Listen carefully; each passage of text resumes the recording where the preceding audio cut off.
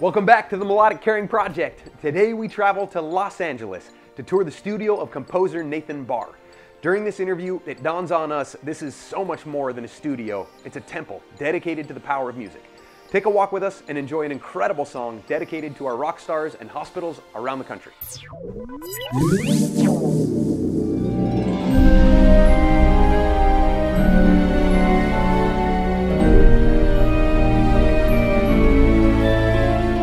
Joining us from LA, California, we have composer Nathan Barr. Nathan, thank you so much for joining us. How are things? How are you doing? I'm doing great. Thank you so much for having me. I can't wait to show everyone my studio today.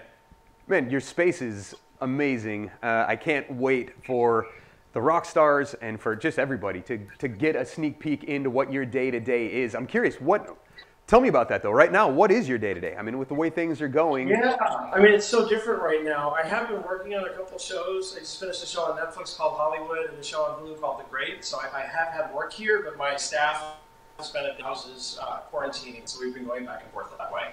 So I have my two dogs here who keep me company, and it's been interesting. So. so you, but you still have your time, your space. How? How have you found this time? Has it been inspiring or has it been almost, you know, kind of too much emotion to process to be inspired by it? I think it's like a little bit of both. I think it, in the first, uh, I think the first phase of it was kind of uh, uh, really sort of otherworldly and strange, and then once I got used to it, then I, I, sort of found my creativity again and just have run with it and gone from there, and it's been okay. So okay, good. Do you? I'm curious. You know, just with your experience with creating and composing, do you think that right now you're kind of backlogging inspiration that's going to come out in a torrent later once you've had a chance to process? Or I mean, yeah, maybe that's very possible. It's a uh, you know, like all of us, I've never been through anything like this before, so it's hard to say what, what will come. But uh, I, I, think it's certainly a, a possibility that that'll that'll happen. One question to answer before we get a tour of your amazing studio. You use music in a in a kind of a specific way, right? You use it to create mood or set a you know set a mood for a theme or a specific feeling that's trying to be delivered uh, on a film. What can you tell me in one word what music means to you? What music means in one word? Yeah. Uh, I guess I would just use two words. I'd say emotional connection. Um, I think it's it's such a beautiful way for people to connect, even if they don't speak the same language with their mouths. Uh, music is just something, if, if I sit down to an instrument and someone sits down to another instrument we've never met before, we can create something together without have, being able to speak to it to each other directly. And that, that is all about, to me, emotional connection. Yeah, I love that. Makes total sense. Cool. Well, show us around. Let's see your incredible space. Yeah, so this this entire building is built around a big instrument. It's a pipe organ that was built in the 20s. that was a big part of Hollywood history, but I'll talk about that later. I'll start right here. Uh, this is a calliaphone. It's called. It's it's basically an indoor calliope. Calliopes were usually had steam uh, driving uh, sound uh, air through the pipes, and they're very loud. So this is an indoor one. So it's got a roll player like a player piano and I'll just turn it on and let it play by itself for a minute so you can hear how it sounds.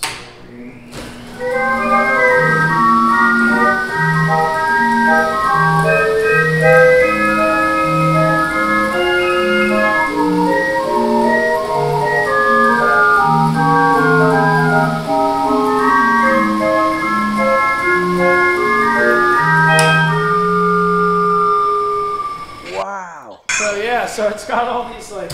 Interesting. It's got, um, if you want to maybe film it there, it's got 58 brass whistles. Uh, and, and air blows through as, as you play the key, and that creates a sound. And so it's, it's got this really amazing sound. These were originally used on steamships back in the day to let people know that they were coming into town. So someone would be playing the keyboard, be super loud, and everyone would go, oh, the ferry's coming. Now I feel like I have obviously completely undersold your space by calling it a studio. You have a museum and a studio and a... Yeah. So this is uh, so this is an instrument that Ben Franklin invented. Uh, it was his supposedly his favorite instrument, and I just absolutely love it. Um, it's called a glass armonica. So if you think of the word harmonica, get rid of the H and armonica. And it's a series of crystal cups, and the pitch is determined by the size. But if I put water on my fingers, no way.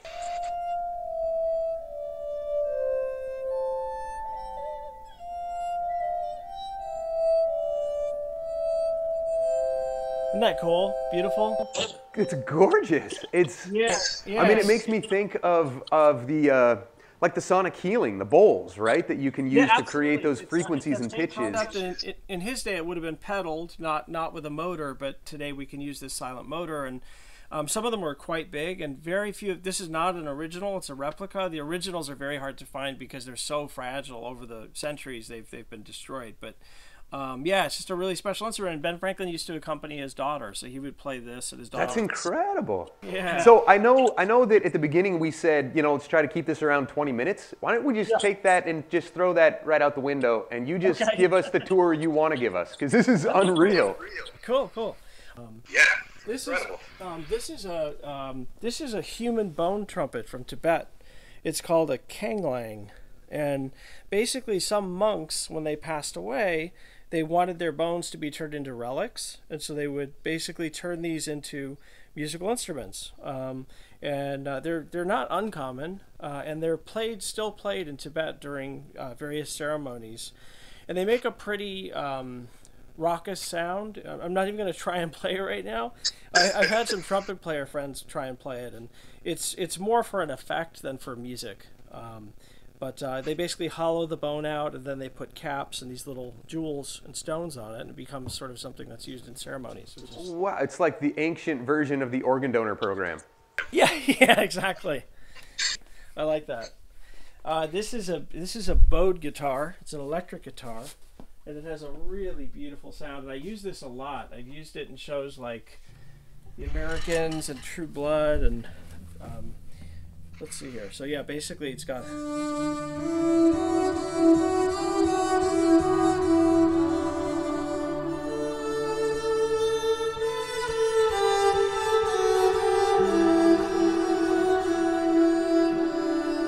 that pretty?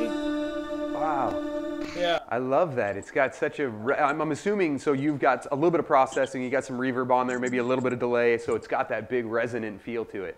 Exactly, and it, and it can do scary, it can do beautiful, it sort of does lots of different things, which is one of the things I like about it.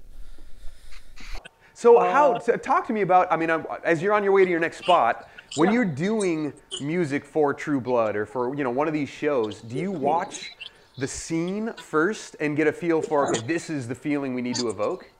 Exactly, that's exactly what it is. Basically, um, music exists in film and television to help tell the story, and oftentimes it's used to help evoke whatever emotion the characters are feeling. And so, yeah, as a composer, I just grab one of these instruments and I watch the scene, and I just start trying to plug into emotionally what's going on in the scene, and then use these instruments to do that. So, I man, I love that. It's funny because you know I've talked to, I talk to people who swear that they don't really like music. You know, nah, I'm not really a music person or whatever. But the reality is, all you have to do is show them a movie and then take the music out of it and say, "Are you sure you're not a music person?" Because Yeah, you know what I mean. Like it's it's so naked without that accompanying emotion that you provide to it. It would be it would be a really different experience. I get to see films before there's music in it and before there are sound effects in it, and without those two, it's a totally different experience. It's kind of probably half the experience of what you ultimately get once. Yeah. Once you add those elements. Right. So this is a, uh, uh big uh, scoring stage. It's called. It's where we record music for movies and television. And so I get like a probably about a 50-piece orchestra in here.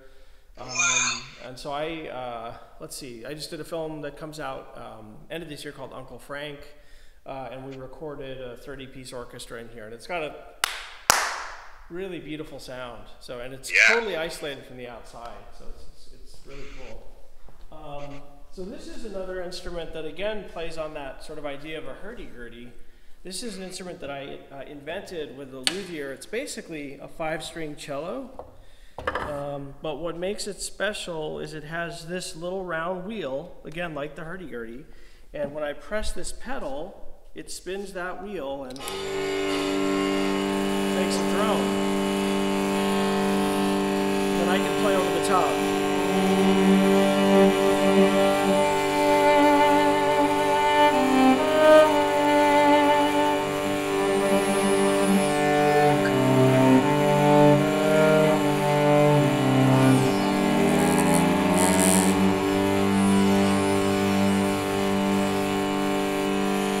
So yeah.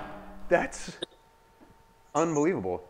Yeah, and it's it's a California black walnut. It's unusual wood for a cello, and then this little dude up here uh, was based on a walking stick head that we saw at the Louvre, and uh, he's like a little puck, you know, like a little horned kind of devil guy, and uh, we thought that'd be fun. So the the man who made this cello carved that out of wood. That's incredible. So what do you what do you call this instrument? I mean, you've It's how many people have invented an instrument? One and two. What do you name it when you do invent one? It's called a sympathetic drone cello. Um, so it's got these sympathetic strings, which you see in Indian music. And like the nyckelharpa, if I play the main strings, those vibrate. Hear that buzz?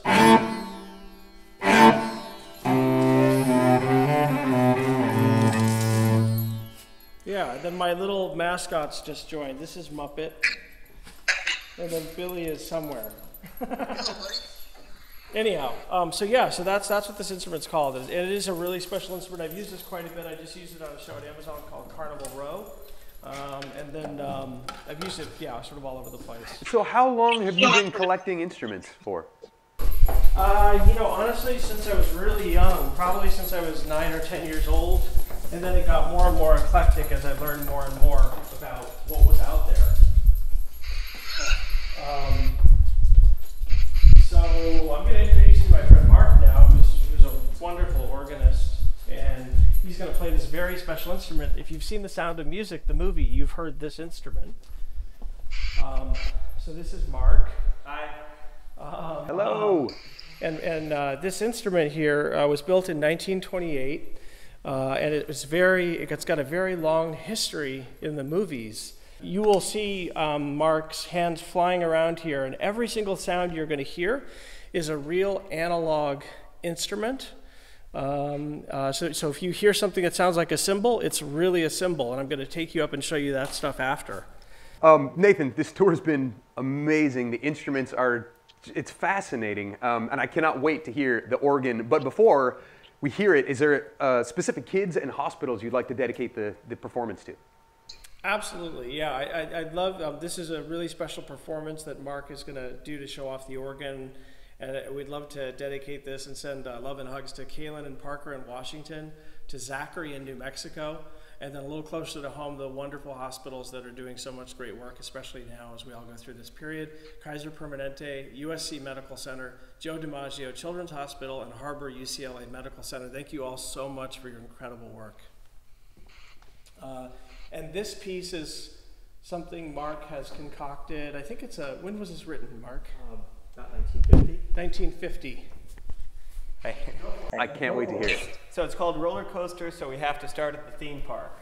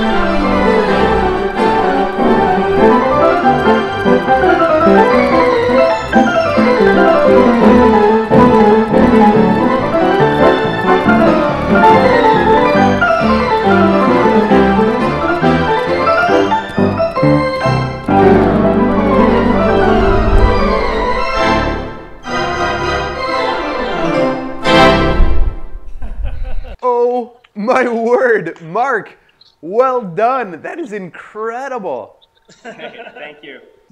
It's honestly s- stunning and kind of staggering. It's hard to take it all in. You know, I mean, you've created a music citadel. It's like, you know, it's like, it's it is like a tribute to the the beauty and the power and the passion of music. You know, I It, it is, and, and like the the ingenuity and the minds that went into like how can we make music mechanically? How can we give one person even a bigger palette to play with? It's just like the the genius of the minds that that created all these instruments. It's, it's just so special, especially culminating in the pipe organ. So. are there any final words you want to leave? You know, kind of with the world as we're going through all this. Yeah, I mean, I just think like one of the one of the great things that has come out of this whole quarantine around the world is seeing all the the incredible creative energy people have put into um, bringing a smile to people's faces, whether it's orchestras broken up into their individual homes making music together, um, or uh, people writing spe- special things just for this time period. I love seeing that creative force come through the sort of inherent uh, tragedy of, of what's going on and, and, and uh, bringing, lifting the human spirit. So it's, it's been really great. Thank you all so much for joining us. If you or someone you know is battling illness and needs support, you are not alone. Sign up today at melodiccaring.org. And a huge thank you to all our first responders and healthcare providers working so hard during this COVID 19 crisis. We appreciate you. I'm Levi Ware. This is the Melodic Caring Project.